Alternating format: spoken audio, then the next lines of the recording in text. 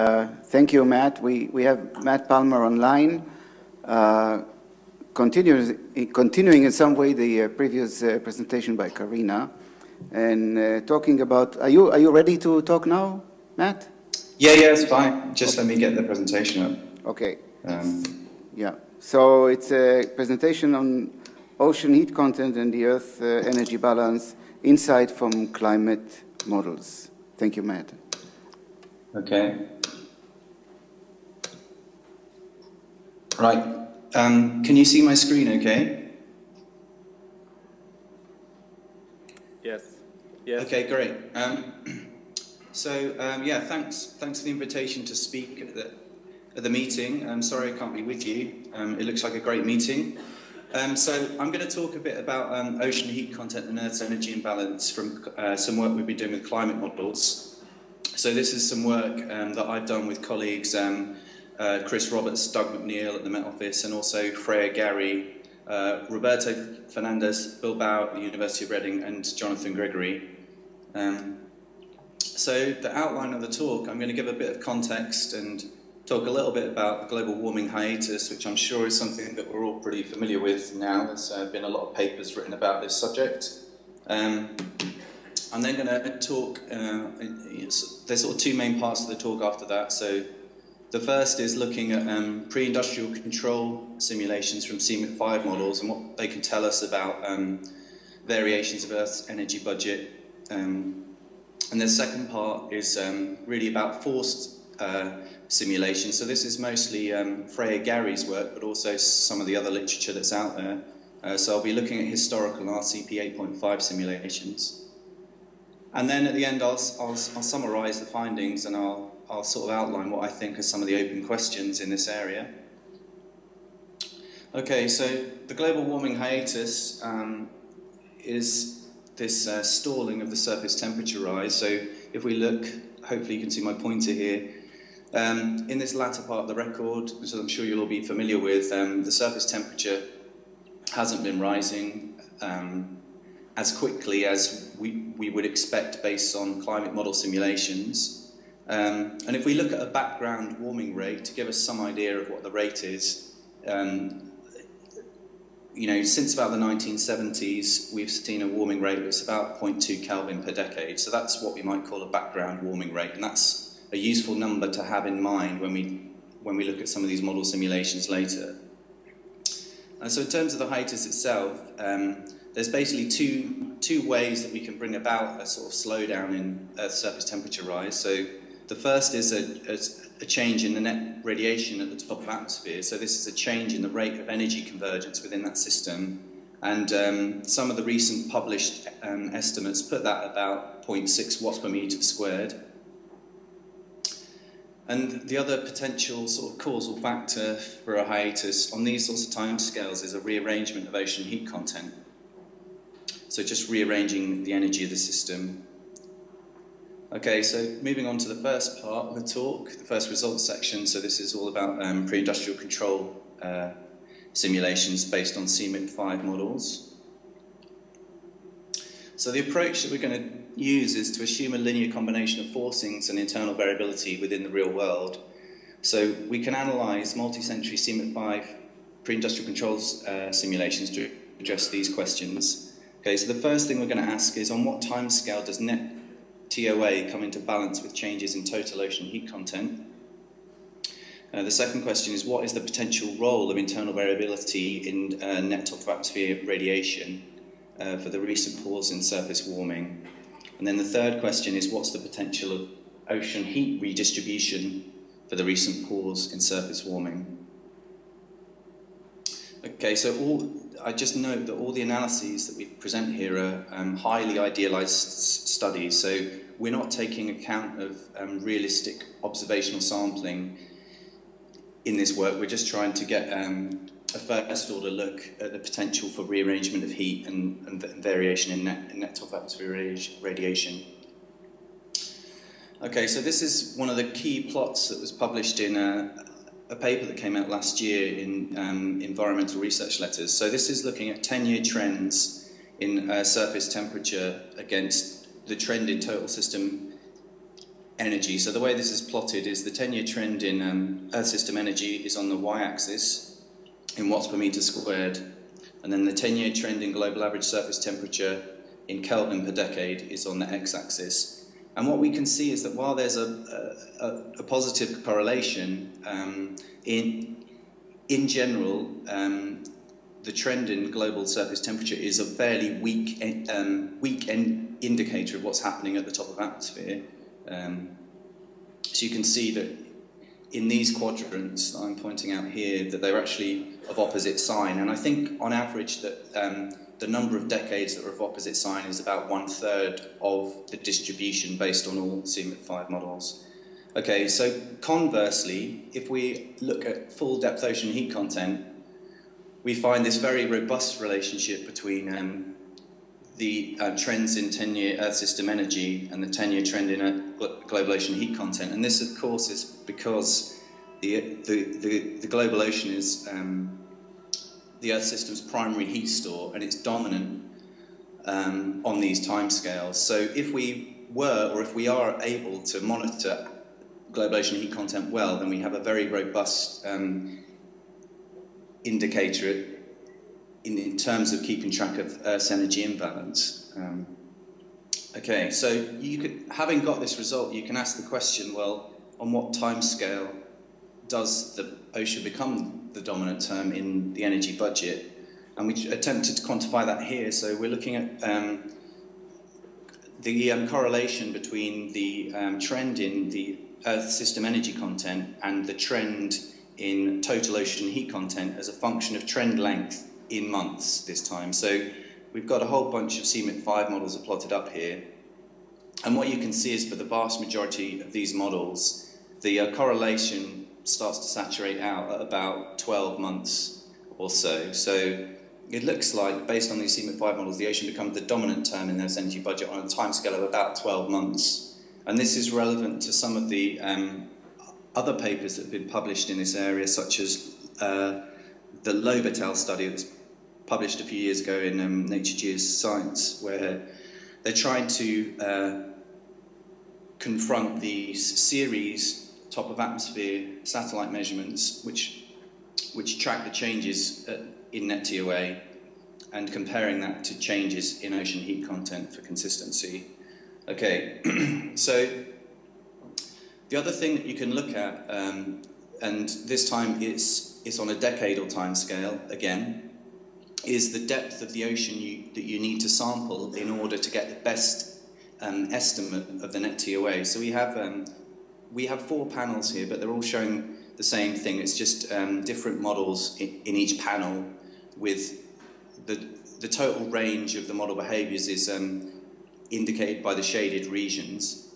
So without getting into too much detail, basically what we're trying to show here is how the um, uncertainty in, in your estimate of, of the radiative imbalance decreases as a function of depth. So as you might expect, as you integrate over more of the vertical column, you're able to retrieve a better estimate of what the net top of atmosphere radiation is. So I guess the key thing to say about this is that the models vary quite a lot in, in their behavior and particularly the, um, the information content with depth changes quite a lot. You know, it's quite variable among models. So you, might have to um, integrate deeper in some models than others to get a reliable estimate of net TOA. Okay, so um, thinking back again to the hiatus specifically, um, one of the things we wanted to do um, was to look at the, uh, the magnitude of trends in a, a, a bunch of different variables um, as, as, a function of trend length. So um, what we have on the y-axis is the magnitude of the trend. So we're, we're trying to plot uh, both sides of the distribution. So we have uh, both positive and negative values. Uh, and then what we do is we um, extend the trend length in years along the x-axis. And you can see this uh, reduction in the magnitude of the trend as a function of trend length, which is sort of what we'd expect from, from internal variability. So when we look at surface temperature, which is a, you know, a very familiar variable, what we find is at timescales of about 10 years, it's very easy to accommodate um, a, a trend of, of a few tenths of a Kelvin uh, per decade. So it's, you know, as previous authors have found, it's, it's fairly straightforward to um, eradicate the 0.2 Kelvin per decade um, trend, sort of background warming trend, just through um, just just by invoking um, internal variability alone.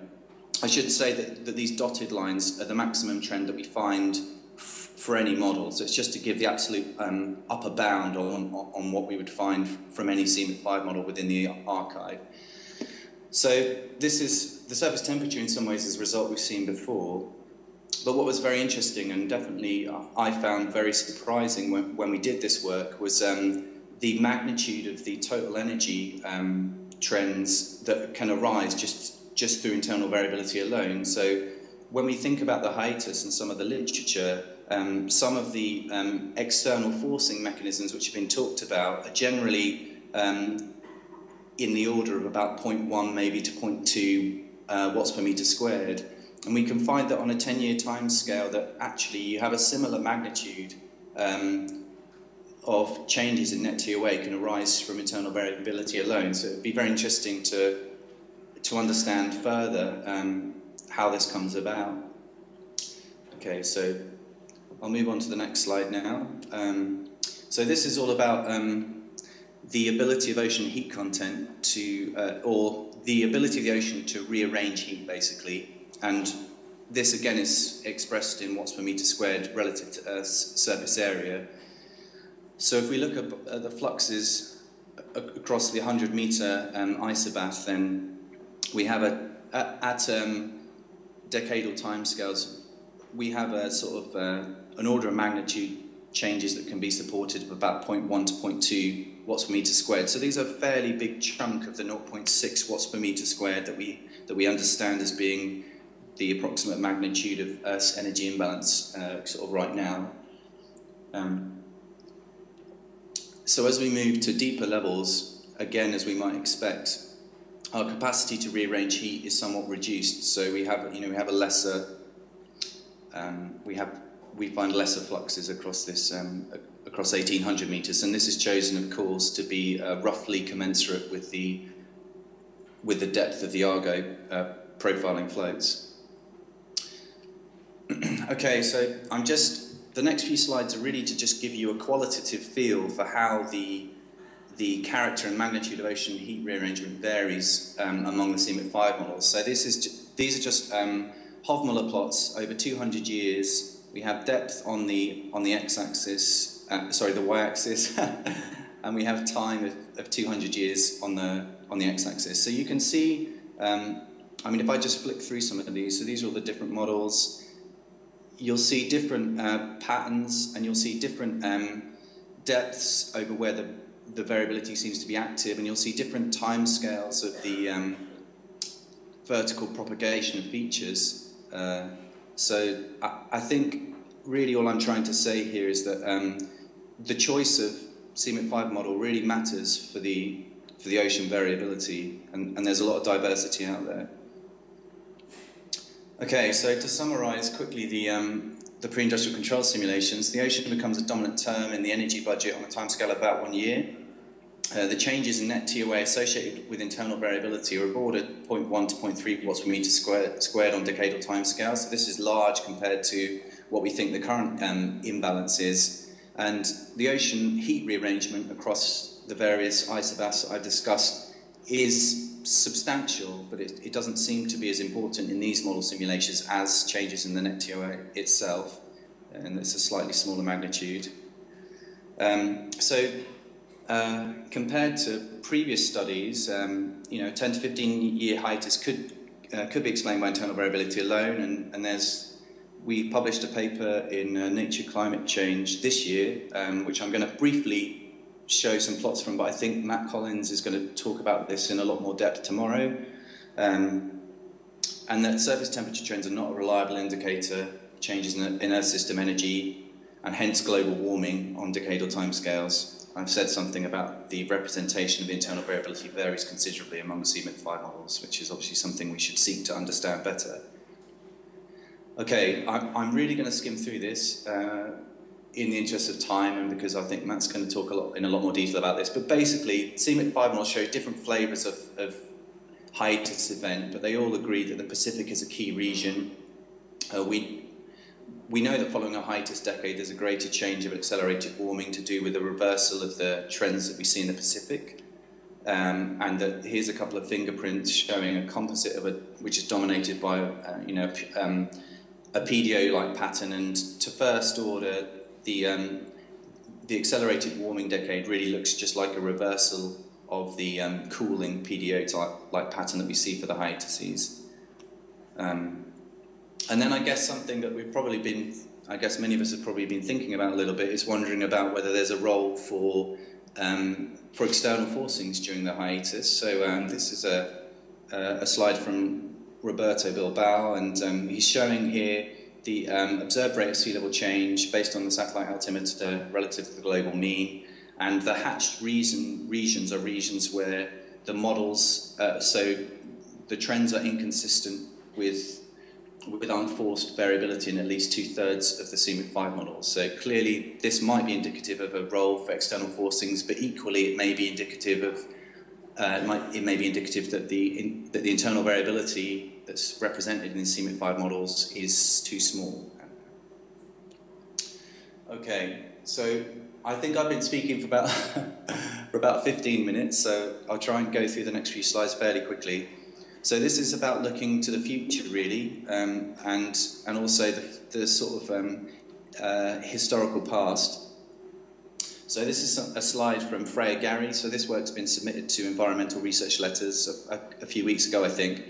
And really, we're, we're looking here a bit at spatial patterns. So this is based on the pre-industrial control runs. And really, um, we're looking at the, um, from, from left to right, we're looking at di different depth layers. So the upper 700 meters, then 700 to 2,000 meters, then 2 to 2,000 to 4,000 meters. And it's just an idea of the magnitude of the variability and where that's happening.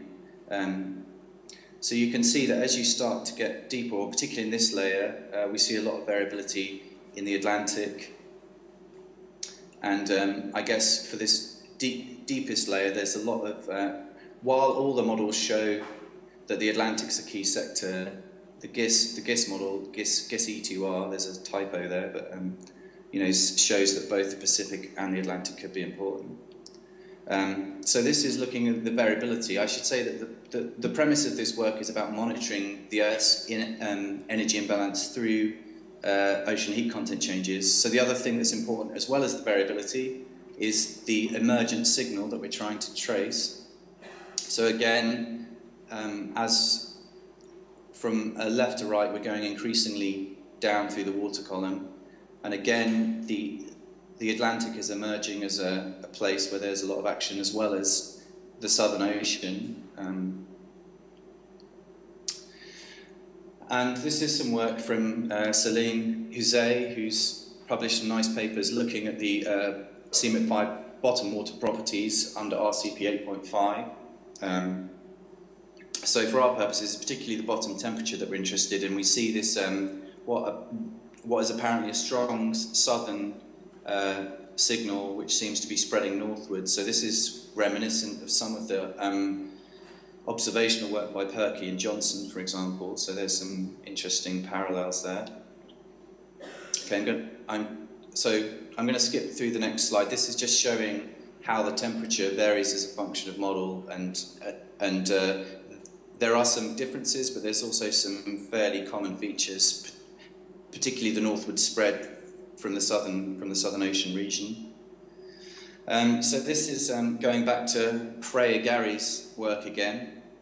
So what this is doing, uh, these different colours are trying to show um, the bias in watts per metre squared that, that we have in trying to um, estimate what the true Earth's energy imbalance is based on um, the uh, changes in ocean heat content observed to successively increasing depths. And what we basically find, so if we concentrate on this upper left-hand panel for now, is that while um, measuring only the upper 700 meters may have been adequate for uh, monitoring the change in Earth's energy imbalance up to 2000 or so.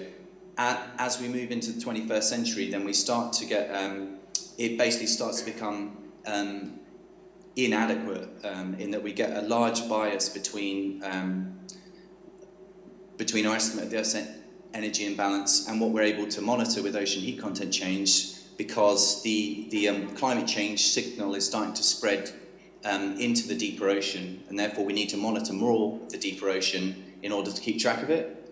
And um, it's particularly the Southern Ocean and the Atlantic and Southern Oceans where, we, where, where that signal emerges. So we can, um, we can gain quite a lot of the benefit of a deep um, Argo array by concentrating uh, deep float deployments within those basins, you know, to start with to keep track of this energy imbalance.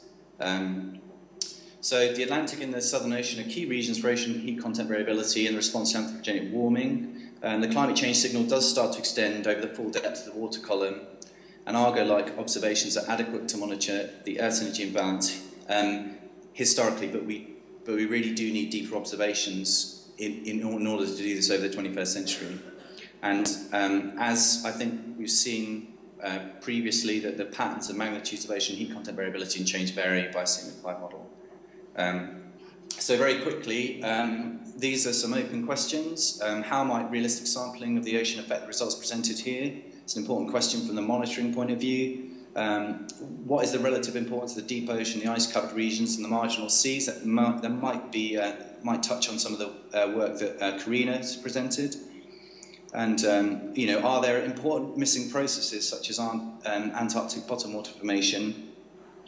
I think we're on the cusp where we're starting to look at couple of models where we have um, eddy permitting uh, models, and it's interesting to think about how that might affect these results and whether there are other modes of variability which come into play. There's some uh, literature that you know that's starting to come out about that, and um, ultimately, how do we determine which models are most like reality? And I think you know that ultimately we need to aim for process-based constraints on the climate model projections uh, because we want you know that's something we should be working towards. So I'll leave it there and take any questions. And thanks for your thanks for your attention.